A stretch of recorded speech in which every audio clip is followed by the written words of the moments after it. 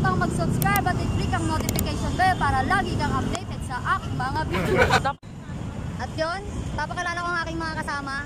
Ang sponsor namin, si Madam Lisa, ang manager. At syempre, ang may birthday ngayon. Ganda na dito.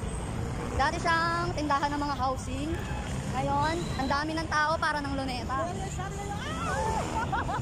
Dugo!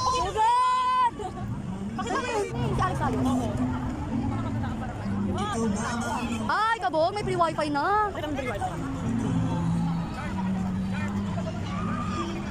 May pag-concert pa. Dati tong, eto dito, yung mga nagtitinda ng mga housing housing. Ah, free wifi.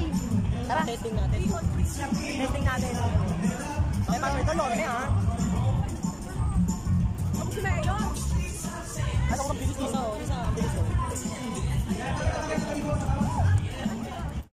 Huwag kayo mga te. Andito si Mayor ngayon.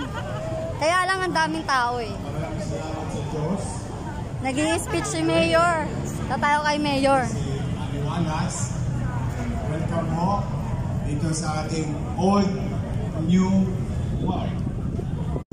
Through the airport of Vice Mayor Hani Lacuna, the City Council, DPS, and City Engineering and City Electrician. Nagustuhan nyo ba? Maganda na ba tumambay rito? Yes! And wait, there's more. May awa dyan. Oh, malakas ba yung wifi? Okay ba? May nagda-download ng porno kanina eh. Nakikita namin sa back-end eh. But I'm happy when you're happy. Honey and I are happy when you're happy. Ganun lang kaya simple oh. Oo, di ba? Nakita niyo si Mayor? Sayang, malayo kasi. Pero nakita ko na rin ng personal si Mayor. Paano masabi? Nung tumatakbo siya bilang alkalde ng Maynila. Excuse me. Pinatawag niya yung mga SK chairman para mag-speech siya.